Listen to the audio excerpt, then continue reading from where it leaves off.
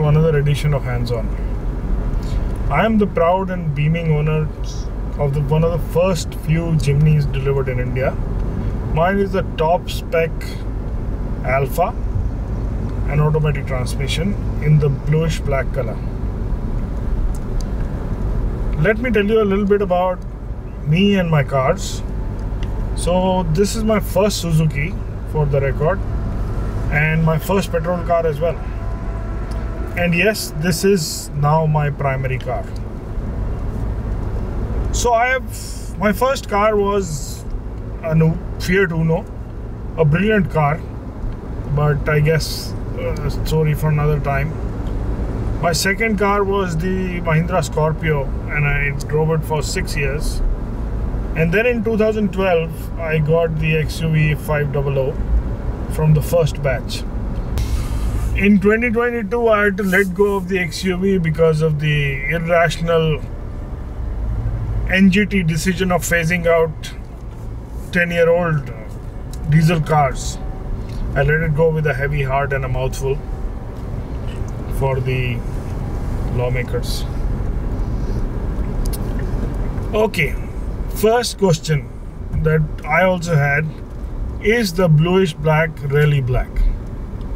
Yes, it is black. It is more black than it is blue. And we had actually first booked the yellow, the kinetic yellow, uh, but the videos that we saw of the kinetic yellow, it was just too much, too many, and we were already over it, and we shifted to the black color, and I'm glad we did. Love the black Jimny; it looks stunning. The second question that everybody is asking or has an opinion about is that is the car expensive? Now it's a perspective, I feel. This car if you look at the price on the invoice is just around 11 lakhs. And then you add 31000 for the extended warranty for 5 years and 100000 kilometers. And on top of that there is the road tax which is 1.2 lakhs for us in haryana at 8% and then there is 50000 of uh, insurance and then comes the big one. There is almost a levy of around four and a half lakhs on this top spec uh, on account of cess and 28% GST. So the government taxes and levies are really what is making the car look expensive. Otherwise, think about it.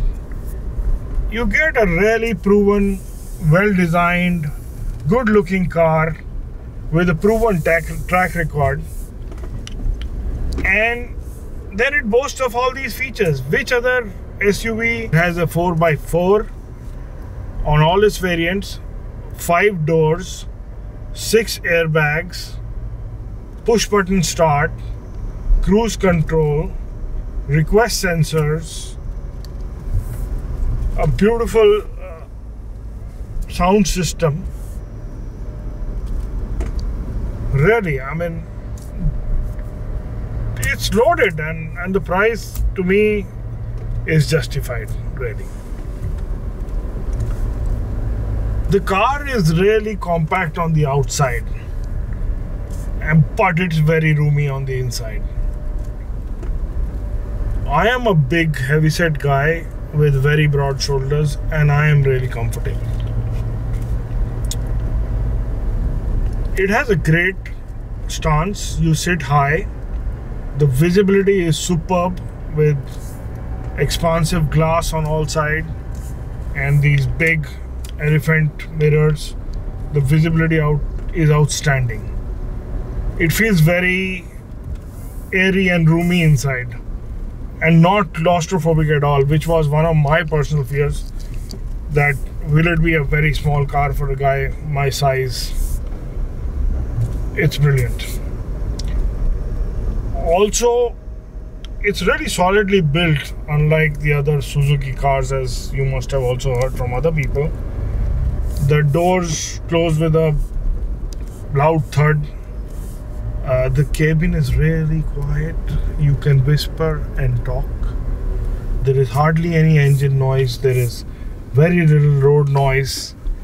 And the music system on this top spec is the Arkamys which is very good. It is one of the better systems that I have seen in any car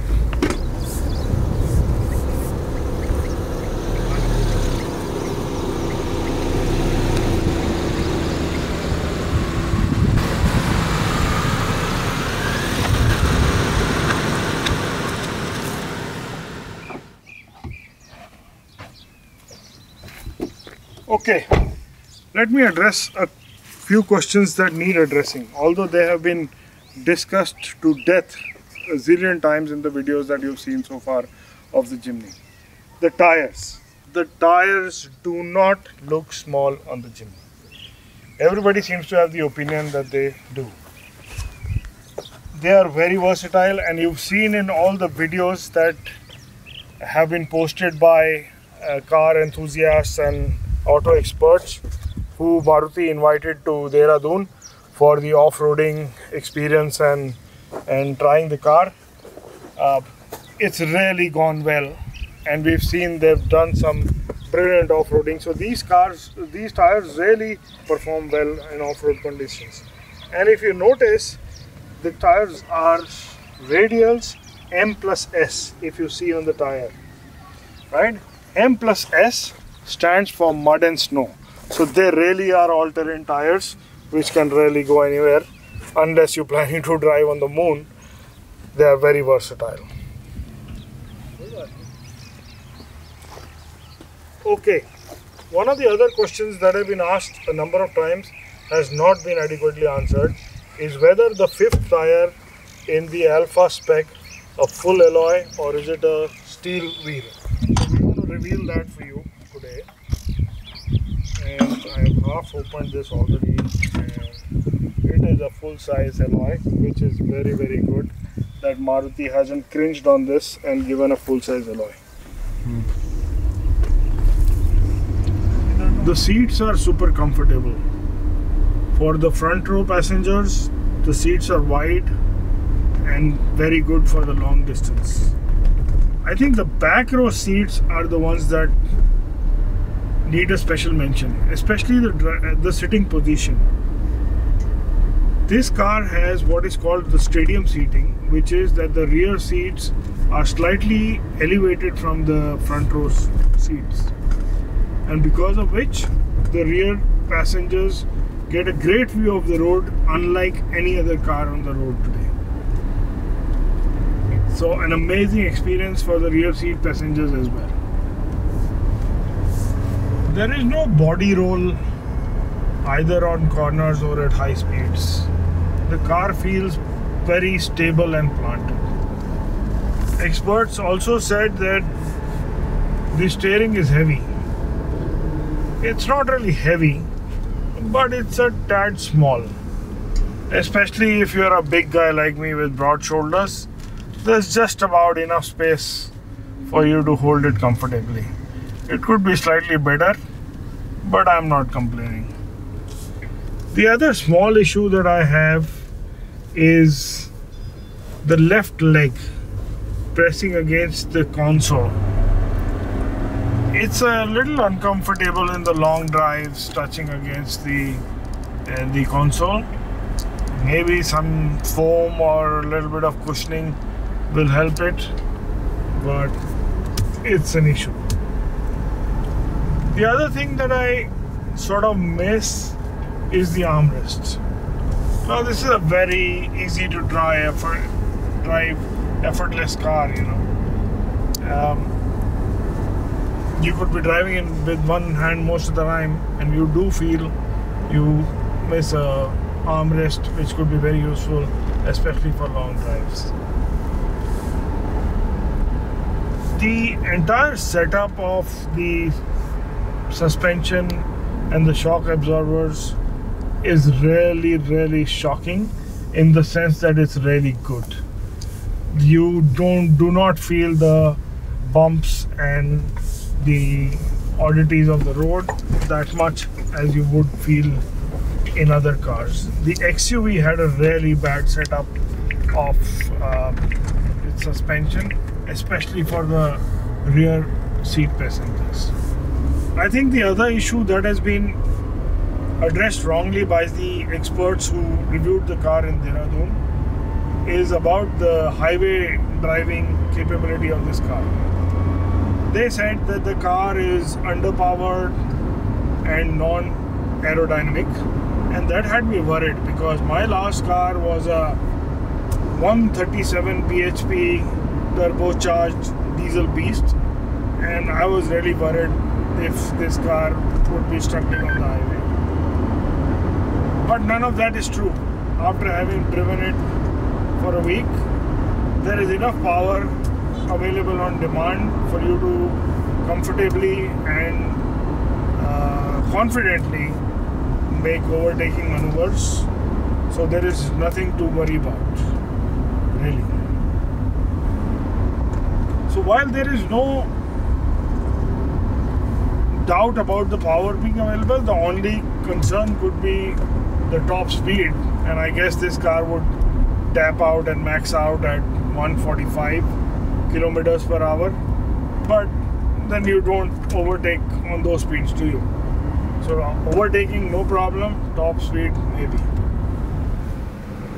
One of the other things that Maruti or Suzuki needs to address is just too many sounds and beeps inside the car. And especially since it is such a quiet cabin all these sounds sound very amplified. So for example the sound of the turn indicators. Okay it's tick tock but it is louder than usual. And similarly the same sound for hazard lights. After some time it does get a little annoying and you can't control the volume of these things now talking about volume the volume of the audio system also has a beep. Now pray, why did we need this?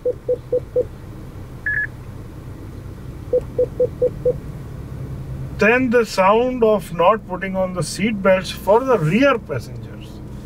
Now rear passengers, first of all, it is mandatory to put the seat belts for this car and if you don't put it, it keeps beeping continuously. It is sort of annoying.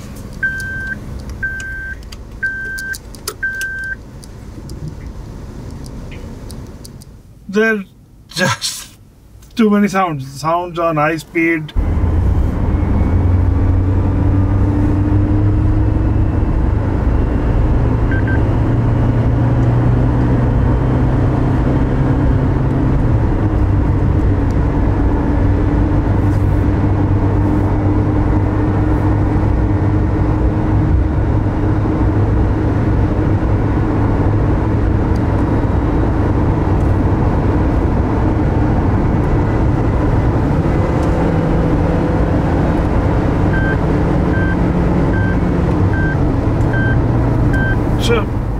just too many beeps and sounds in this car.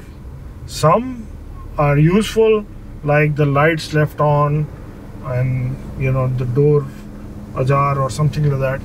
But a lot of them I think can be turned down and a few like the volume beeps and sounds can be completely eliminated. Maybe if uh, Suzuki is listening or watching this video something for the future the touchscreen display in the Alpha model is a really good one.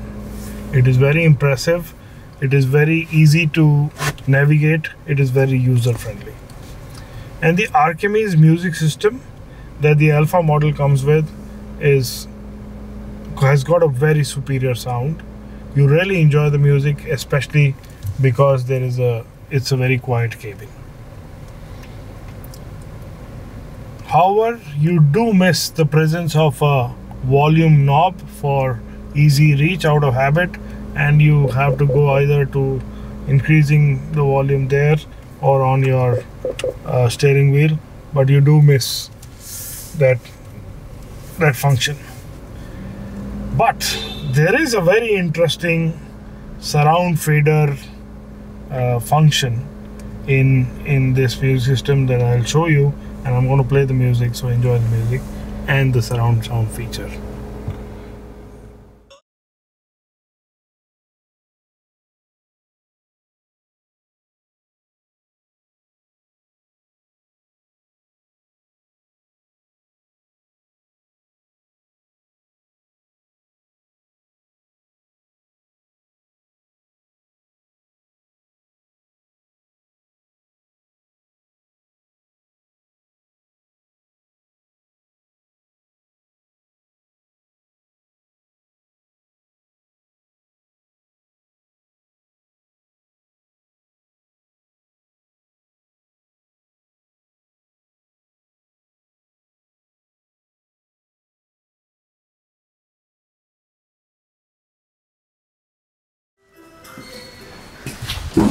One of the other things that I'm disappointed about is not enough light inside the cabin. Maruti has used filament bulbs inside the cabin and as you can see that they are not enough.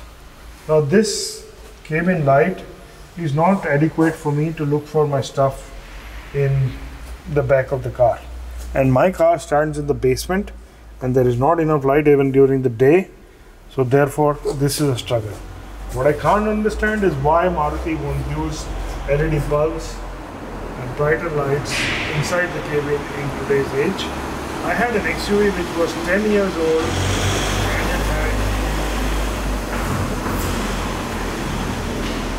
and I had an XUV which was 10 years old.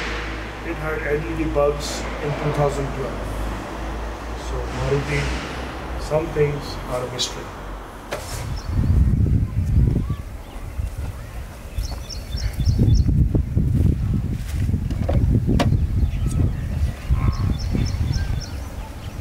Okay, the verdict.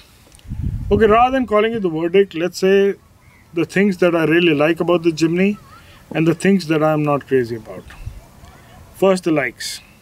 I really, really like the size. I told you it's my primary car and it is very maneuverable, very practical.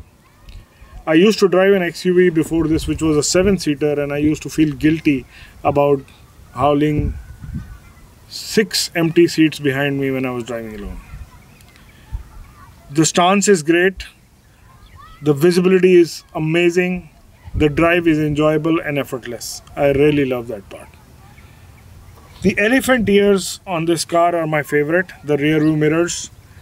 They give you the visibility and again, very roomy, just feels great, feels good, feels positive. Amongst the things that I'm not too crazy about are the beeps and alarms, multi multiple of them, and some are really annoying. The other is the chrome on the grill. Not too crazy about the chrome particularly on the grill, especially on this black car. An all black grill would have been far more sexier, I think. Third, the DRLs is an effort to turn on, to turn off, to remember to turn on, and too many alarms and beeps. DRLs, by the definition of it, should be on all the time and effortlessly.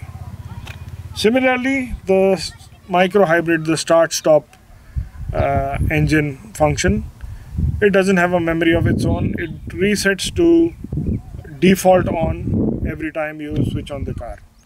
That is also a little bit annoying.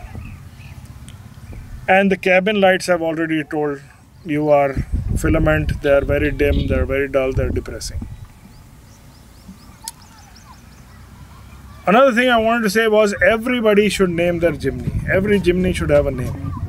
My Jimny is called the Ibex, the mountain goat, which is versatile, hardy, brave, strong, handsome. Do write in the comments of what you think would be the other possible names appropriate for the Jimny. And if you're getting your own Jimny, what are you planning to name it? Please subscribe and keep watching this space for all the interesting things that I do and more interesting ownership videos of the Ibex. Please share the video as much as possible because there are so many myths around the Jimny that need to be busted and quickly. Till the next time, I do hope that you're living the life that you want and if not, you're taking steps towards it. Good luck and take care.